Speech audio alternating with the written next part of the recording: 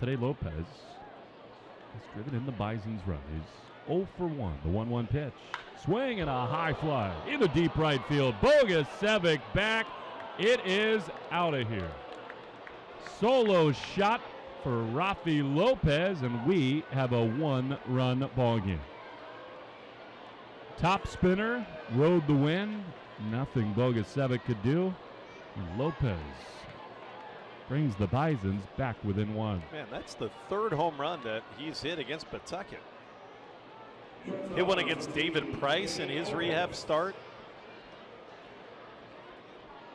Overall this year, he's hit seven home runs with Buffalo. He was in double A for a few weeks at four.